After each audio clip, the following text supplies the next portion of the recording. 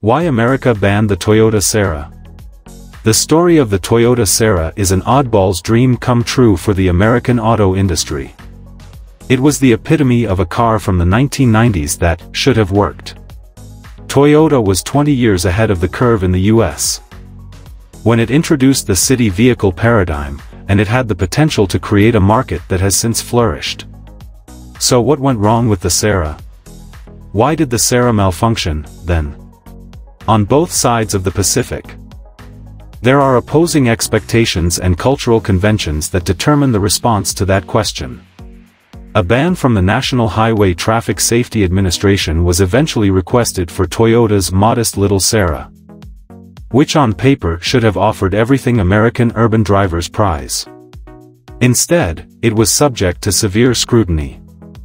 However, vehicles like the Sera foresaw the future of American motoring whether they were legal or not. Toyota's Camry and Corolla were two of the 10 best-selling vehicles in the United States a few decades after the Sera was outlawed. Continue reading to learn how the market changed from the earlier to the later position. Right design, wrong time. Fundamentally, the Toyota Sera was a K car that had been modified for the international market and given a decent performance reputation. The 1980s saw a rise in the popularity of K automobiles. Often known as Keijidosha or light automobile, both in Japan and abroad. The contemporary city runabouts produced by companies like Hyundai and Kia had their origins in Japanese-made K automobiles.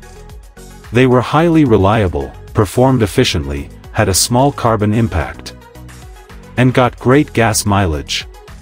In order to create the Sera, Toyota combined components from the Paseo, Starlet, and Tercel, three of the company's best-selling vehicles at the time. The end product was a calm commuter with an exhibitionist streak. Swaying butterfly doors and a glass roof in addition to Toyota efficiency and first-rate gas mileage. The justification for marketing the Sera to American consumers was clear. American cities are big. American drivers enjoy their money. Why not provide them a vehicle that will meet their transportation needs and is priced to maximize their savings? The short explanation is that American driving has particular requirements, especially in cities, and traffic rules are created appropriately.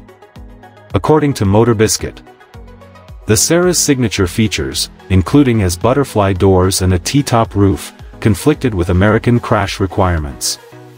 According to a Toyota insider quoted by Motor Biscuit, creating a NHTSA-compliant Sera would have amounted to starting over. Toyota was unwilling. And the Sera quietly fell after a brief run in manufacturing.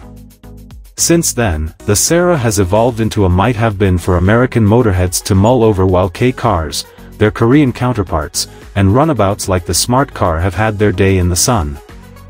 Toyota could have opened the American market for small, useful city cars 20 years earlier if it had strengthened the Sera and increased its marketing efforts.